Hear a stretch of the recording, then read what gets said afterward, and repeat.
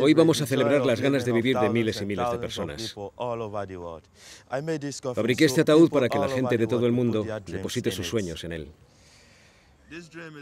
Este sueño es de una persona de Villacañas, que siempre deseó ver a España levantar la Copa del Mundo. O este otro, que es de un escocés, que dice que le encantaría ver una puesta de sol con Angelina. O este otro, al que le gustaría levantarse junto a su mujer todos los días de su vida.